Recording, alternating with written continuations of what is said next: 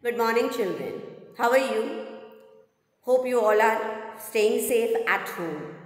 Children, in this video, we are going to study about, yes, about lesson number chapter 2, that is questions. Okay, children. Now, this is your grammar part. Children, before this, we studied about the sentence. We know what do you mean by sentence. Now, the next part is questions.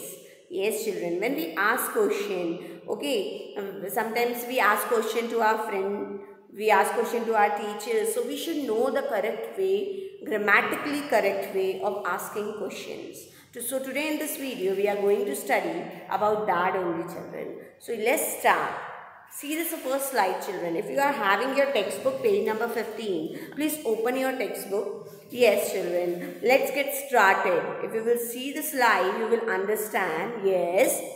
See the dialogue children. Read the dialogue. The words what is that papa is a question. See the boy is asking to his father, what is that papa? It is a star. What answer he is giving? It is a star. So we have to uh, see the questions. Okay. So what question he asked? What is that, Papa? So a question asks someone something. It begin with a capital letter and end with a question mark. Yes, children. A question asks someone something. It begins with a capital letter and it ends with a question mark. So you have to keep in your mind that a question asks someone something. It begin with a capital letter and it end with a question mark. For example, children, if you will see this, now look at some more questions. Are you angry? Do you want to go to the museum? Is this your bicycle? Who is that man on the road? What is your favorite color? So all these are what? These are questions. Yes, these are questions. See the first letter. If you will see, yeah, first letter of every question is a capital letter. And if you will see at the end, it is a question mark. Yes, children. So it is a question mark. Okay, children. Now let's see some question which is asked in your book. See, take the question and circle the sentence. What is the question? take this question uh, and circle the sentence. So which one is the question? You have to tick the question and you have to circle the sentence. Before that, I just want to tell you about this children. That is grammar bite. A statement begin with a capital letter and end with a full stop. As you all know that uh, uh, about the statement, we will see about the statement. A statement begin with a capital letter children. Yes. Yes, children. If you will see children, take the question and circle the sentence. Uh, if you will see this, uh, uh, your right side, it is written, that is the grammar by it. A statement begin with the capital letter and its end with a full stop. Yes, before this we have seen the sentence and that I taught you that a statement begin with a capital letter and it ends with a full stop. Like that children, here if you will see, take the question and circle, circle the sentence. You have to take the question and circle the sentence. Okay, so first one is what? First one is a question. Why it is a question? Because it begin with a capital letter and it end with a question mark. So we will take that. Yes children, we will take that. See, you can see this. Yes, we can take this. Okay. Yes. So, uh, second one if you will see, I drink milk in the morning. I drink milk in the morning. See the first letter is a capital letter but at the end it is a full stop. It is not a question mark. So we will say it is a sentence. So second one is a sentence. Yes. See the third one. It is mm, it is pan hot. Is the pan hot? Is this a pan hot? Is the pan hot? Okay, they have given is the pan hot we uh, actually there uh, there should be is this a pan hot okay so it is a question again so third again we will take the uh, sorry third one is Yes, it is a question. See the fourth one. Uh, the boy is walking the dog. The boy is walking the dog. The boy is walking uh, walking the dog. Okay. So here uh, the boy is walking with the dog. It should be there. So we will say it is a sentence. Again fifth. It is a lovely day. It is a sentence because it ends with a full stop. Then we are having sixth one. Ma Mike, Paul and Jim are watching a film. Again it is a sentence. Okay. Why are you later, uh, sorry, late to school? So this is a question. Then today was a hot day. Again it is a, eighth one is a sentence. We uh, want to have ice cream. Again it is a sentence. Yes.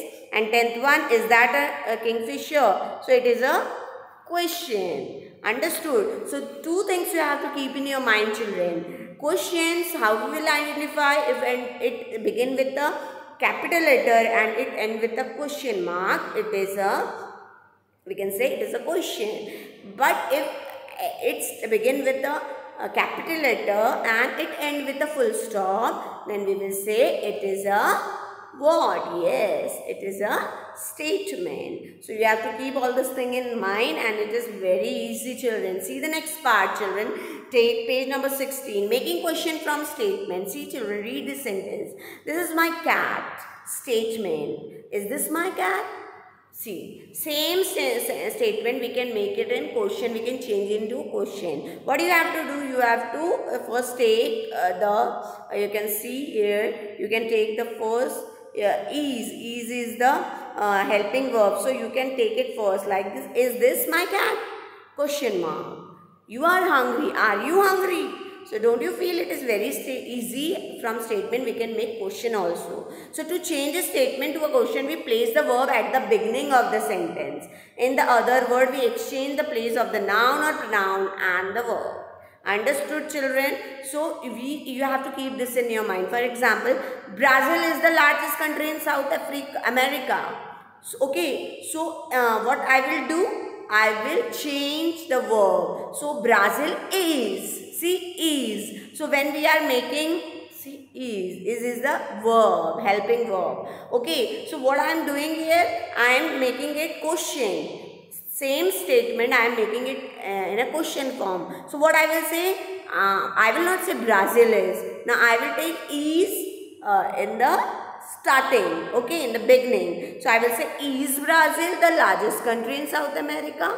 So don't you feel it is very easy? Yes, we are changing in question, we are changing the noun and the verb, okay. Second one, Zootopia is a children film. Sorry, huh, yes, Zootopia is a children film. So what we will do, come on tell me. Yes, which one is the verb? Is. Which one is the verb? Is. So we will say, is Zootopia a children film? Question mark. So don't you feel it is very easy from making question from statements. If statements are there, easily we can make question from it. Yes children. See the next slide children. This is my cat. Is this my cat? Yeah, this is my cat. So we will say, is this my cat? In the question form. See the statement, you are hungry. Are you hungry? Yes. Again here if you will see, see children, are is the verb. So when we are making question, uh, we are putting the verb in the beginning. So are you hungry? Okay, is it clear to everyone? Yes. See the name. First slide. This is my cat. What I said? This is my cat. So is is a verb. While making question, we are saying is this my cat? So very easily we can make from statement we can make question. Yes, children. Now, see the last part, children. We use word like who, what, why, where, when and how at the beginning of sentence to form a question, children. These words are always followed by the verb. Keep in your mind.